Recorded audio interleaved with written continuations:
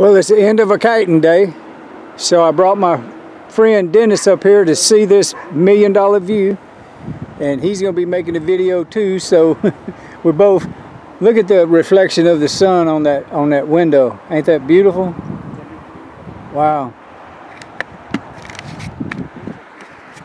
Well, we had a good day of kiting, but listen, I made a rookie mistake, and I want all you people to realize that I am not perfect. I'm a rookie kiter and this is what happened.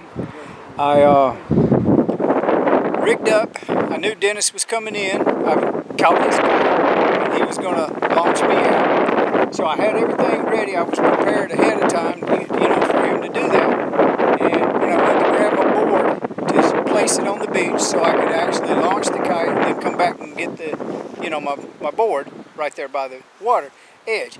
And guess what? I kited at Barracks School. That's where the reef is, and I had water shoes on. So what does that mean?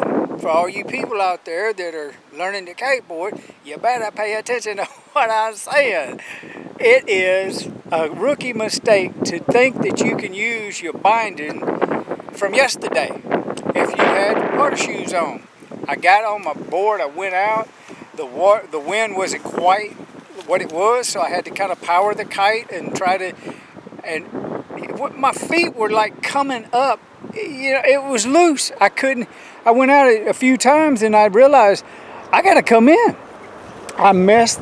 I messed up because the wind died right after you know I came in. I could have strapped my bindings, you know, got came to the beach, left the kite there, strapped the bindings. I can't go in like the pros do, but uh, it rubbed my, it, it my little session uh, because it wore me out. When you when your feet are not tight in the bindings, and you're having that slack, and you're having to work that calf and that thigh and that toes, trying to hang on for everything you got because you want to ride, because it's you know it's the wind's dying and it's your first session, and ah, it it was not good.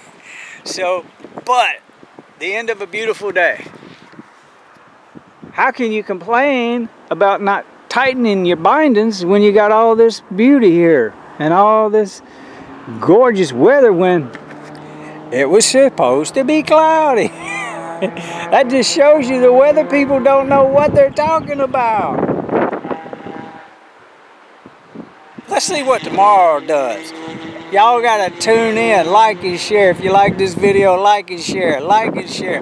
Leave a comment. Get it, pass it around to all the kiting people you know. Let them know that there's a rookie mistake if you wore, wore water shoes. You gotta fix your bindings before you go out, people. Love y'all. Thank you. I'll be here tomorrow.